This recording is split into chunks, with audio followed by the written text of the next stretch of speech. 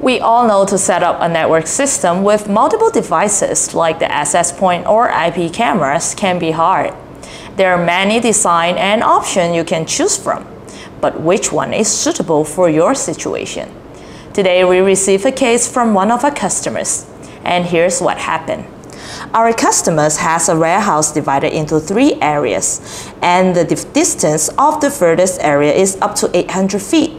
His initial plan is to put the core switch at first area and link switches to the second and the third area to form a daisy chain network. Because for each switch of the area, he will install indoor plus outdoor security cameras and wireless access points. But since daisy chain will generate many problems, so we don't recommend this setup plan. And we decided to provide an alternative plan which is using the single fiber optic cable instead and we only need to pull one single cable to avoid the daisy chain. So today in this video, I'm going to tell you the reasons why we don't recommend the daisy chain and how to solve the problem with a single fiber optic cable. If you have a problem with your system design, please feel free to follow the link in the description below and send us your problem. We'll be more than happy to solve your problem for you. So let me explain why don't we suggest the initial plan which is using the daisy chain. The daisy chain will generate latency. The main network will have to pass through all the switches before it gets to the edge devices, so it's a long way to go. Also, daisy chain will create a single point of failure. That means if one of the switches is defective, you will lose all the devices after that. And the system diagnosis will be a difficult thing to do. In the star topology, we can always remove the switches and to rule out the possible cause. But now all the switches are chained up, so pinpointing the problem source will be a tough thing to do. In this case, we suggest to use the single fiber optic cable. Now, it can provide high speed, low latency, and long distance, so it's perfect for our situation here. Now, the maximum distance by using a fiber optic cable can be up to 18 kilometers, so 800 feet won't be a problem at all. So the fiber optic cable uses light to transmit data, so it's much faster than the electrical signal that used by the traditional copper cable. It allows a faster data transmission speed and reduced latency. Now, let's move on to the demonstration board and I will show you the whole setup and explain it along the way.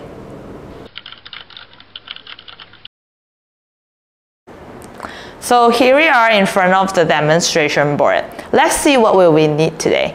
First, we will need a WebSmart fibered PoE switch. We'll have three of those to pretend the three areas. Now, what is special about this switch? It has the media converter already built into the switch. So this is what a media converter will look like. And basically it converts the electronic signal into optical signal. And since our switch needs the optical, the electronic signal to power the device, so we need to convert the signals. Now, we also need the SFP transceivers. This transceiver is where you connect with the fiber optic cable, but it's sold separately because normally you have to determine which type of connector or what type of fiber optic cable that you use. Maybe it's a single mode, maybe it's a multi-mode. And also here we have the coupler. We will need the coupler to join two fiber optic cable together and it's designed for quick connection and easy to use. It will help to maintain the optical signal being transmitted between the fiber optic cable free of interference. Also, it's waterproof. Now, without saying, let's begin the connection together. Let's pretend we are at area 1 where our customer put his core switch and other devices. And this is the fiber optic cable that we're using. It has 4 string. And we don't need to worry about the connector because it's pre-made and 100% tested in the factory. The fiber optic cable also comes with pulling eyes on both ends, which is the protection of the cable while installation. Now let's do the connection together. First, we are going to put two SFP transceiver into our fiber PoE switch because in, this, in our customer situation, we need two of those. We have four strings, so let's pick string A and B. It has letter on the string, so you won't mix up. For the spare strings, if you want to add other devices, you can use the spare string and always add additional media converter. Now, let's connect the cable. Let's use the cable to connect the router with our switch. So everything is plugged in. Now area one is all set. Now we are going to area two.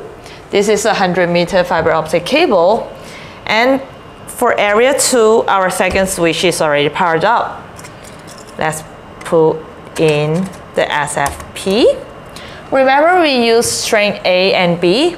Now let's pick A to connect to the second switch from the first switch. All right. And the second switch is connected. Now let's try to connect with an access point. Let's pretend this is the access point that our customer will add in the area 2 and we can see the integrated light is on. So the setup in area 2 is done. And remember we have string A and B. Now we are going to use the string B to connect with our third switch using the coupler. This is the coupler that we talked about it looked like this, but I took out the middle part for the quick connection. Now, this is the fiber optic cable from the third switch. We are going to use, let's use string A for this one. And now it's connected. This is the string from the third switch for the first switch, we decide to use the outdoor fiber PoE switch. This is IP67 waterproof, so it can operate under harsh environment. Now, let's take string A, this one, and connect with our third switch. All right. Now let's try to connect an IP camera to see if it worked. Over here. All right, so it's already plugged in. Here you go. Now we see the indicator light is about to come on. The camera is all set.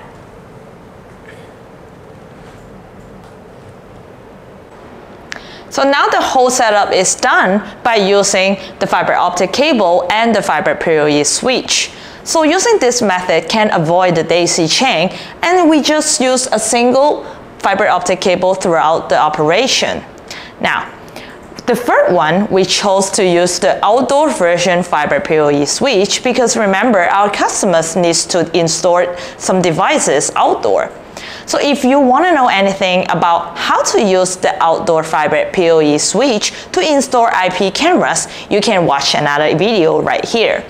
So thank you for watching today. I'll see you next time.